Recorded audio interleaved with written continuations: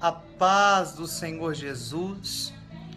Eu estou aqui na cidade de Cocos, Bahia. Estou aqui visitando os meus pais, na cidade onde eu nasci.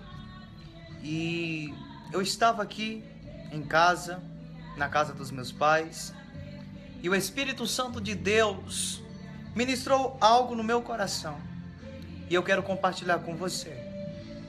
Você que está com seu coração inquieto, você que está nesse momento preocupado, você que está preocupada com alguma coisa, você que nesse momento está preocupado com alguma situação, escute o que o Espírito Santo de Deus vai falar contigo nesse momento. Salmos 46, verso 10.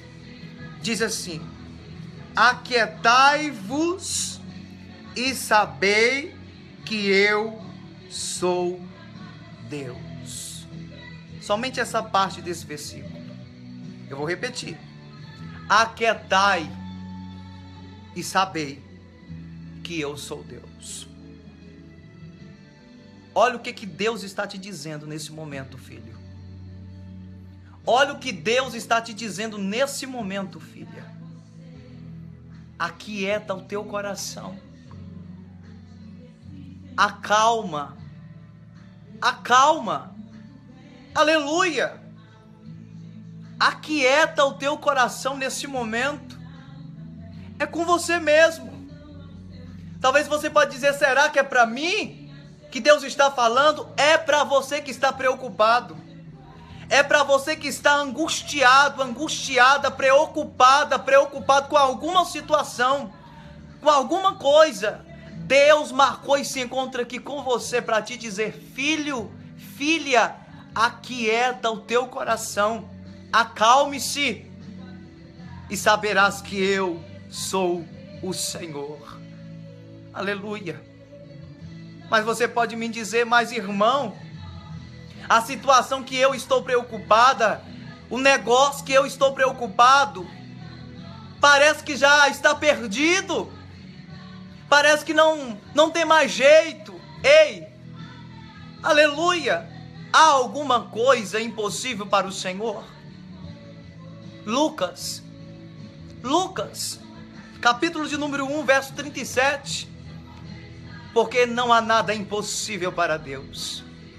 Tome posse dessa palavra e receba alívio, alegria e calma.